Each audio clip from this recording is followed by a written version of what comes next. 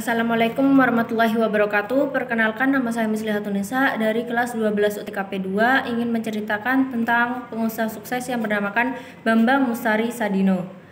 Ia adalah salah satu pengusaha sukses yang pernah jatuh bangun hingga menoreh kesuksesan yang besar.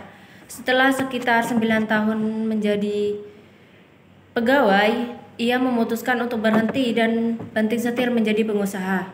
Usaha pertama yang ia rintis adalah penyewaan mobil dengan modal satu mobil Mercedes dan ia supiri sendiri.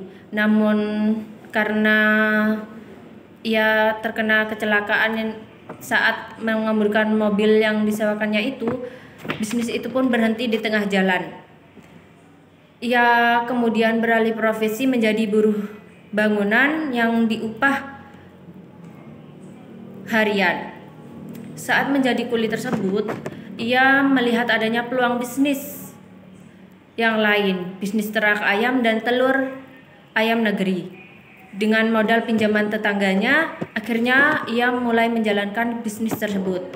Awalnya ia menawarkan sendiri dagangnya dari rumah ke rumah di sekitar wilayah, wilayah tempat tinggalnya.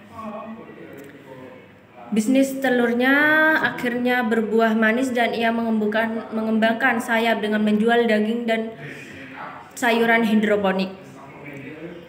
Bisnis tersebut sukses dan ia pun mendirikan Camp Chicks supermarket ternama yang menjual berbagai macam produk pertanakan dan pertanian.